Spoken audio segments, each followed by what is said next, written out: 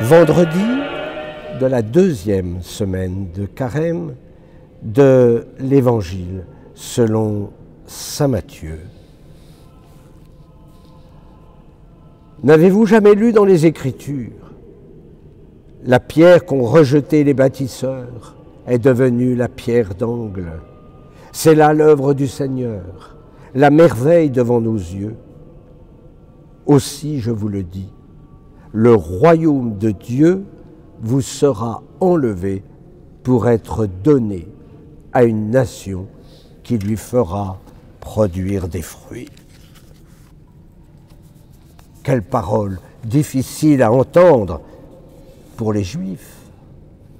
Cette parabole des vignerons homicides nous révèle le dessein d'amour du Père.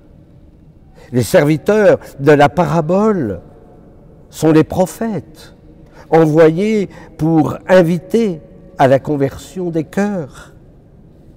Mais nous le savons bien, ce ne fut pas suffisant. Alors le Père a envoyé ce qu'il a de plus cher, son Fils unique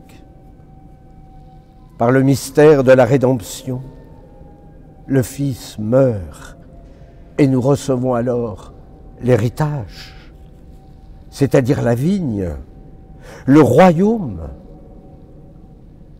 Le royaume nous est confié, mais quelle responsabilité? Le Seigneur nous demande peut-être aujourd'hui de faire un examen de conscience.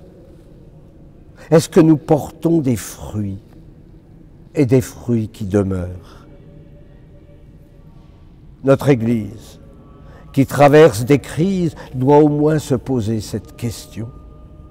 Et quand je dis l'Église, ce n'est pas uniquement le Vatican, c'est vous, c'est moi, parce que nous sommes le corps du Christ.